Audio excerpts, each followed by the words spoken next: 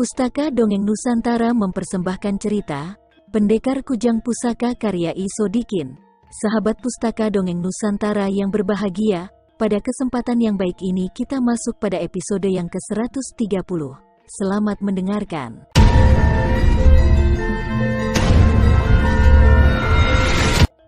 Gilar kerutkan dahi mendengar ucapan sosok tinggi besar. Hatinya berkata, siapa mereka menahan diriku di sini? Sudahlah kamu tidak perlu repot-repot untuk berpikir, kamu diam di sini ditemani mereka itu, pesan sosok tinggi besar. Dia lenyap bersamaan dengan hilangnya suara yang diucapkannya. Huahaha, hihihihi, pasukanku jaga dia, jangan biarkan dia pergi dari alam kita. Kata suara tanpa wujud menggema, huahaha. Hihihihi, sosok hitam melayang lebih mendekat dan berusaha menangkap bagian tubuh sang pendekar kujang pusaka. Bahkan beberapa sosok sudah menutup mata dan mendekap tubuh, membuat badan Gilar dingin dan sesak untuk bernapas. Alam apa ini? Siapa mereka? Hem, bau mereka sungguh aneh, benak sang pendekar kujang pusaka berkata. Huahaha, hihihihi, huahaha, hihihihi. Suara cekikikan dan cekakakan terdengar tak henti-henti mengiringi sosok hitam menekan dan persempit ruang gerak Gilar. Apa yang harus aku lakukan? Kembali Gilar bermonolog. Huh, napas berat terdengar. Gilar berusaha melepaskan diri dari kungkungan sosok-sosok hitam yang tidak beri kesempatan untuk dirinya leluasa bergerak bebas. Namun kekuatan tak kasat mata membelenggu seluruh anggota tubuh sang pendekar kujang pusaka, dia mengeluarkan energi murni untuk mengeluarkan ajian tameng raga. Tubuh sang pendekar mulai diselimuti cahaya putih, menerangi alam gelap, akan tetapi semua itu hanya berlangsung beberapa saat. Mereka itu makhluk apa, kekuatannya tidak boleh dianggap remeh? Kata Gilar menghela napas panjang, kedua alisnya terangkat. Ah, lebih baik aku bersemedi untuk minta petunjuk pada Sang Murbeng Dumadi, terbersit dalam hati sang pendekar untuk mendekatkan diri pada Sang Maha Pencipta. Dia langsung bersila untuk melepaskan urusan duniawi dan berusaha introspeksi diri berserah pada Yang Maha Suci. Hyang Maha Pencipta dan Maha Kuasa, tunjukkan jalan terbaik untuk masalah yang tengah hamba hadapi, ucap Gilar, kedua mata sang pendekar tertutup rapat. Napas teratur dan diatur untuk berdoa pada Hyang Widi untuk mendapatkan pertolongan dari Yang Maha Kuat dan Perkasa. Selang lebih dari paruh waktu malam Gilar bersemedi dibarengi pengerahan tenaga inti diri. Semakin lama bersemedi bertambah terang cahaya yang menerangi tempat keberadaan sang pendekar yang dibawa oleh para sosok hitam yang kini tengah menggoda keteguhan hati untuk kembali kepada jati diri yang bertekad beribadah pada Gusti dan berbakti pada negeri. Terangnya cahaya putih yang melapisi tubuh Gilar makin melonggarkan intimidasi dari para sosok hitam yang merupakan makhluk gentayangan yang bertugas mencari teman sebanyak-banyaknya untuk mengisi tempat yang perlu kita hindari. Lama-kelamaan alam kegelapan tersibak oleh cahaya terang bersamaan dengan munculnya sang kujang pusaka. Saling beradu kekuatan mulai terjadi, di saat asap hitam pekat kembali menutupi tubuh sang pendekar kujang pusaka. Datangnya asap hitam memancing sosok-sosok hitam untuk kembali menggoda Gilar yang tengah menghadap pada Hyang Mahasakti. Hingga memaksa sang pendekar untuk merembeskan energi murni lebih dari biasanya untuk kembali menyingkap asap hitam yang mendominasi tempatnya meditasi untuk mendapat keikhlasan diri. Hyang Maha Hebat dan Maha Kuat, jangan biarkan kejahatan kalahkan kebaikan, jauhkan kegelapan dari hidup hamba, karena hamba yakin dengan pasrah padamu maka segala urusan akan mudah dengan kuasamu, justru menjadi kekuatan yang maha dahsyat. Pinta Gilar, kini tubuh Gilar melayang, selanjutnya kedua tangan diangkat ke atas sehingga asap hitam di bagian atas terdorong lebih tinggi. Asap hitam kembali terganti oleh cahaya putih berbarengan dengan jeritan pilu yang terdengar dari sosok-sosok hitam. Hihihihi, tidak, kamu harus ikut kami, kamu tidak bisa mengusir kami dari tempat kami sendiri.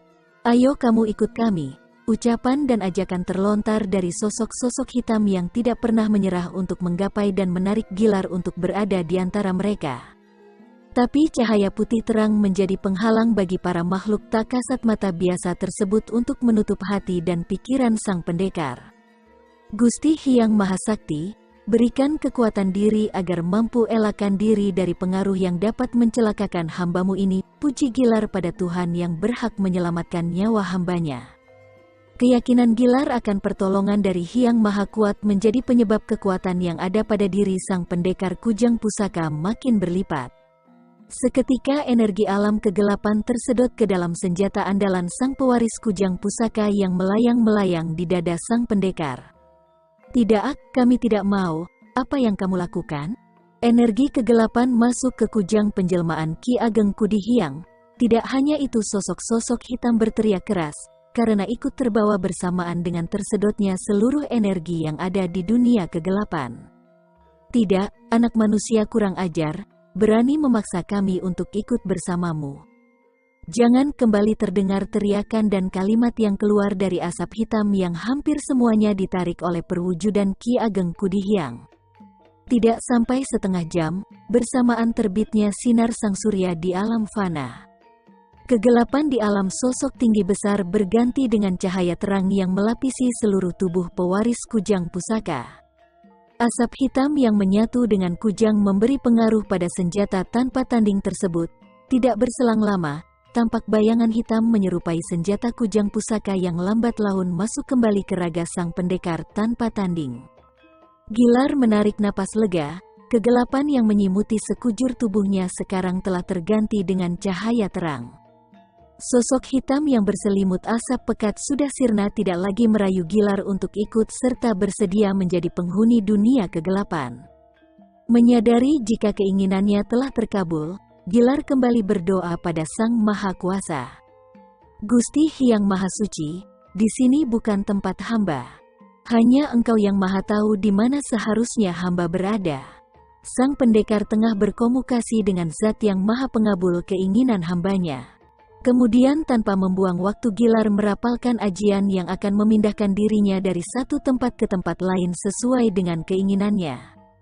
Tempat Gilar bersemedi kembali gelap, ditinggal oleh sang pendekar kujang pusaka yang memancarkan cahaya terang benderang, menerangi kegelapan dengan cahaya yang keluar dari diri. Para pendengar yang berbahagia, kita tinggalkan Gilar yang melakukan teleportasi. Sekarang kita tengok, dua hantu kembar di perguruan mereka. Setelah menyadari kemampuannya tidak dapat menandingi kekuatan dari Gilar, hantu muka klimis dan hantu muka rata, kedua hantu kembar kembali ke tempat mereka. Keduanya terkejut dan bertambah dongkol, baru saja tiba ke tempat mereka, keduanya melihat kedatangan orang yang hampir saja membuat mereka celaka. Mujur bagi kami berdua, sedari tadi kami menunggu guru berdua. Kata Senopati Sarja Baspati, bagaimana hasilnya guru? Pangeran Gagah Guntur Praja menyela, disuguhi pertanyaan oleh tamu mereka. Muka hantu muka rata memerah menahan amarah pada orang yang tiada lain pangeran dari kerajaan Purwa Kencana. Melihat perubahan perilaku hantu muka rata, Senopati Sarja Baspati berkata, maaf guru, Pangeran bertanya begitu karena saking semangat untuk mendengar keberhasilan misi kita, sang Senopati menengahi. Tatapan hantu muka rata beralih ke Senopati Sarja, namun tiada kata yang keluar dari mulut sang hantu muka rata. Kedua hantu duduk di tempat pribadi mereka, kemudian sang hantu muka rata menuang air minum ke gelas yang terbuat dari batok kelapa.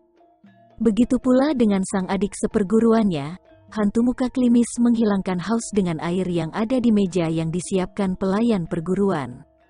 Guru, kami minta tolong lagi, kami sangat berharap Sudi melenyapkan istri dari Raja Ranajaya. Pangeran Gagah Guntur Praja kembali berkata, kamu itu tidak punya nyali apa? Bentak hantu muka klimis, maaf apa maksud guru? Dia seorang perempuan, betul, hanya kami tidak mau nama kami tercemar di kalangan istana Pangeran Gagah beralasan. Ngem, apa imbalan untuk kami? Mendengar pertanyaan dari salah satu hantu kembar, Senopati Sarja keluarkan satu kantong koin emas dari balik baju lantas menaruhnya di atas meja. Ini baru sebagian kecil imbalan dari kami, sisanya akan kami bayar setelah pekerjaan selesai dilaksanakan, janji sang Senopati pada kedua hantu kembar. Melihat sekantong koin emas di atas meja, hantu muka rata tersenyum lalu menoleh pada pangeran gagah guntur praja. Apakah kalian ingin kami berebut hadiah? Tanya sang hantu tertua. Muka sang senopati merah padam, tapi dia tidak mau urusannya akan terbengkalai. Dengan begitu sang senopati keluarkan kembali satu kantong koin emas dari balik bajunya, kemudian meletakkan di atas meja. Wahahaha, itu baru betul, sang hantu muka rata tertawa girang. Diambilnya lagi sekantung koin emas lalu memberikan pada sang adik seperguruan yang juga tertawa senang mendapat jatah dari kakak seperguruannya. Kami senang melihat guru berdua bahagia, kami menunggu kabar baik dari guru. Kata Senopati Sarja Baspati, tenang saja, tugas dari kalian akan selesai sesuai permintaan janji hantu muka rata. Baiklah, kami tunggu kabar baiknya, kami permisi pulang dulu kata Senopati Sarja Baspati. Kenapa harus buru-buru? Tanya hantu muka klimis tersenyum licik. Iya, nikmati dulu arak milik perguruan kami, hantu muka rata basa-basi. Tidak usah guru, kami pamit pulang, Senopati Sarja Baspati bungkukan badan lalu melangkah ke pintu ruangan hantu muka kembar, diikuti oleh Pangeran Gagah Guntur Praja yang tampak kurang senang dengan sikap kedua hantu kembar. Keduanya berjalan menuju ke kuda mereka yang ditambatkan tidak jauh dari tempat kedua hantu kembar. Lalu tanpa banyak kata sang pangeran menaiki kuda miliknya disusul oleh Senopati Sarja Baspati. Mereka meninggalkan perguruan hantu kembar dengan tangan kosong, tidak mendapatkan berita yang mereka harapkan. Kembali ke ruangan kedua hantu, setelah kepergian Senopati Sarja Baspati dan Pangeran Gagah Guntur Praja, Kedua hantu saling tatap kemudian tertawa terbahak-bahak. Wahaha, apakah kita akan menurut keinginan mereka kakang? Tanya hantu muka klimis. Kita lihat kondisinya adik. Jawab hantu muka rata. Apa maksud kakang, apakah kamu ketularan mereka? Ejek hantu muka rata sambil geleng kepala. Hah. Desa hantu muka klimis. Sudah, kamu tidak perlu banyak berpikir. Ikuti saja rencanaku, pesan hantu muka rata. Baik Kang, kata hantu muka klimis pasrah. Sekarang ikuti aku. Kita bersenang-senang, hantu muka rata berjalan ke pintu. Sekali hentak tubuh dari salah satu hantu kembar sudah hilang dari pandangan. Melihat kakak seperguruan sekaligus kembarannya pergi, hantu muka klimis tidak mau buang waktu, dia juga langsung melesat meninggalkan ruang tempat sang kakak. Kedua sosok menjauhi perguruan hantu kembar, menuju ke perkampungan terdekat. Sementara itu di istana Ratu Kerajaan Purwa Kencana, Permaisuri Dewi Sasi sedang memandang jauh ke depan, tangan kanan sang ratu mengelus-elus kain penutup perutnya. Di sampingnya duduk Senopati Andari yang sabar menemani sang ratu sesuai pesan dari Raja Ranajaya. Di tengah-tengah kehening, Ratu Dewi Sasi tersenyum sendiri, selang kemudian sang ratu berkata, Anak baik, Nanda tidak sabar ya ingin bermain dengan bunda. Kata sang ratu, tangan Ratu Dewi Sasi kembali mengelus perutnya yang bergerak-gerak, membuat permaisuri dari Raja Ranajaya tersebut tersenyum. Menyaksikan perempuan di sebelahnya begitu bahagia, Andari ikut tersenyum. Pikirannya menerawang ke tempat jauh, Senopati Andari membayangkan seandainya dia dan Raja Ranajaya bersatu dalam ikatan pernikahan. Sang Raja mengelus perutnya yang tengah mengandung putra mereka. Senopati Andari begitu bahagia diperlakukan romantis oleh Sang Raja, sehingga Sang Senopati tersenyum pada Sang Raja. Ada apa Senopati? Tanya Ratu Dewi Sasi, San Sandika Kanjeng Ratu. Terperanjat Senopati Andari mendengar pertanyaan dari sang ratu yang menatap tajam pada dirinya. Apa yang kau lamunkan sehingga kamu senyum-senyum sendiri? Kembali Ratu Dewi Sasi bertanya. Titidek Kanjeng Ratu. Hamba tidak sedang melamun, Senopati Andari mengelak. Bibirmu berkata tidak, namun wajahmu menunjukkan ada pikiran yang terpendam. Goda Ratu Dewi Sasi, ah, Kanjeng Ratu bisa saja, wajah sang senopati menahan malu. Jujurlah padaku, apakah engkau sedang kesengsem pada seseorang? Hamba tidak berani Gusti, mengapa hamba hanya seorang prajurit yang harus mengabdi pada Kanjeng Ratu? Ngem, baguslah, maksud Gusti, diriku lahir dan dibesarkan di kalangan istana. Menjadi putri raja dengan banyaknya saudari. Menjadi seorang istri raja harus siap dengan konsekuensinya, kata sang ratu, tampak beliau menarik napas berat. Mendengar perkataan Ratu Dewi Sasi yang membicarakan sekilas kehidupan di lingkungan istana, membuat Senopati Andari penasaran. Ampun Gusti, bukankah hidup di istana itu menyenangkan? Betul Senopati, lantas apa yang membuat Ratu tampak bersedih hati? Telisik sang Senopati, seorang raja tidak hanya didampingi oleh seorang permaisuri. Ngem, giliran Senopati Andari yang menghalangi napas panjang. Tapi beruntungnya diriku, karena Paduka Raja berjanji akan setia selamanya, kata sang ratu lagi. Ehem, ucapan sang Senopati tertahan, ada apa Senopati? Tidak apa-apa Kanjeng Ratu Senopati, meskipun aku percaya akan kesetiaan Paduka, namun tidak menutup kemungkinan beliau punya selir.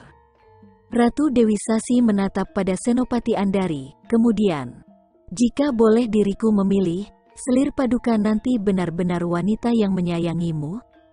Gusti pasti saat itu terjadi suatu kejadian yang berat bagi Kanjeng Ratu, kata Andari balik menatap pada Ratu Dewi Sasi. Selama ini diriku melihat, paduka raja masih menaruh perhatian padamu. Tidak berani Kanjeng Ratu, kata Senopati Andari jatuhkan diri ke lantai. Bangunlah, tidak Kanjeng Ratu, Ampunan darimu yang utama bagi hamba, kata Senopati Andari. Paduka Raja datang, pekik pengawal istana ratu. Sontak Ratu Dewi Sasi dan Senopati Andari menoleh ke arah ke gapura masuk istana ratu. Bangun Senopati, kita sambut Paduka Raja, perintah Sang Ratu Permaisuri Raja Ranajaya perlahan berdiri dari tempat duduknya. Pelan-pelan Kanjeng Ratu, kata Senopati Andari. Pengawal pribadi Ratu Dewi Sasi segera bergegas membantu sang ratu yang berdiri sembari memegang perutnya. Wajah permaisuri tampak berseri melihat kedatangan lelaki yang menjadikan dirinya sempurna sebagai seorang istri kedua wanita berjalan beriringan menyambut Raja Ranajaya yang hampir sampai di pintu utama Istana Ratu. Kedatangan sang raja membawa kebahagiaan bagi seluruh penghuni istana, termasuk para dayang yang mempersiapkan karangan bunga untuk menyambut kedatangan sang raja. Dinda sayang, bagaimana kabar permaisuriku cantik? Puji Raja Ranajaya, ah, Paduka Ratu tersipu malu. Penguasa kerajaan Purwa Kencana memeluk sang permaisuri tepat di depan pintu utama masuk istana. Sesaat semua dayang dan emban tertunduk, mereka tidak berani melihat ke arah sepasang suami istri yang tengah melepas rindu. Mari masuk paduka, bisik sang ratu, mari ratuku. Raja Ranajaya ayunkan kaki pelan ikuti langkah kaki sang permaisuri menuju ke istana ratu. Keduanya berjalan diiringi Senopati Andari dan para dayang yang ada di istana ratu kerajaan Purwa Kencana. Senopati, mengapa kamu berjalan di belakang ampun kanjeng ratu? Memang sudah seharusnya, tidak berjalanlah di sebelahku. Pinta Ratu Dewi Sasi, Baik Kanjeng Ratu, jawab Senopati Andari. Sang bidadari percepat langkah untuk imbangi langkah kedua penguasa kerajaan Purwa Kencana.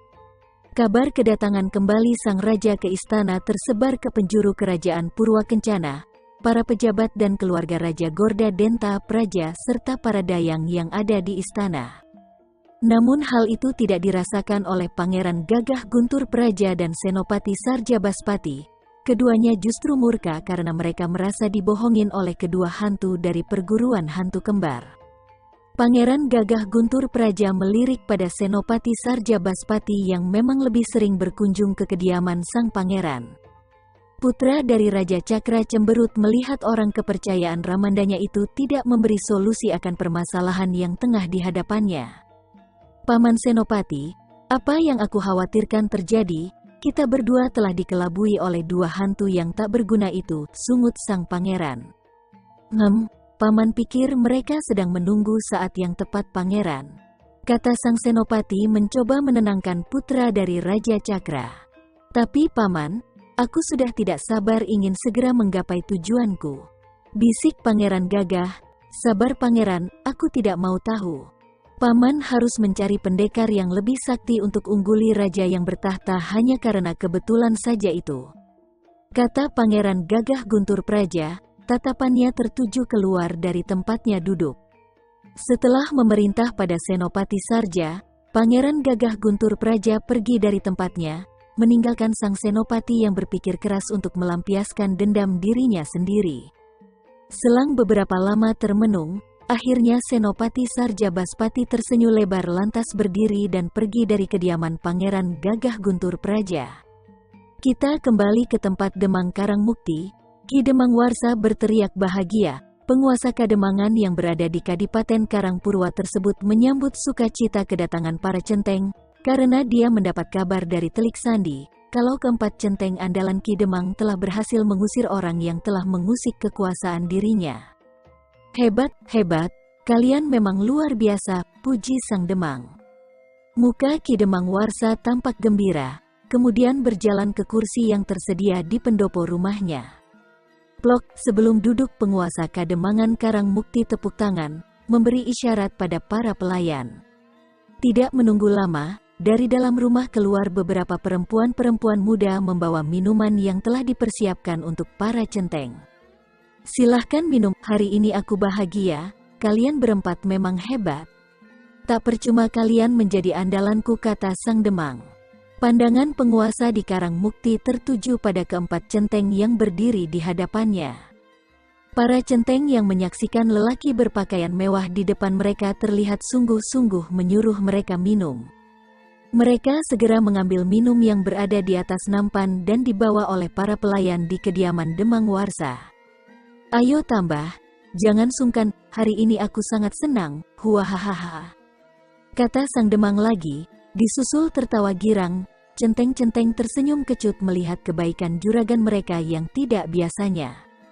Mereka saling pandang satu dengan yang lain, ayo tuang lagi. Aku suka minuman ini, pinta si cebol, menyodorkan cawan dari bambu pada sang pelayan. Tentu saja sang gadis langsung menuangkan air dari ceret yang dia bawa, sementara si cebol dengan genitnya mencolek pipi sang pelayan. Ih, teriak sang pelayan, menjauh dari si cebol. Ehem, cebol, Demang Warsa melihat ke arah salah satu centengnya.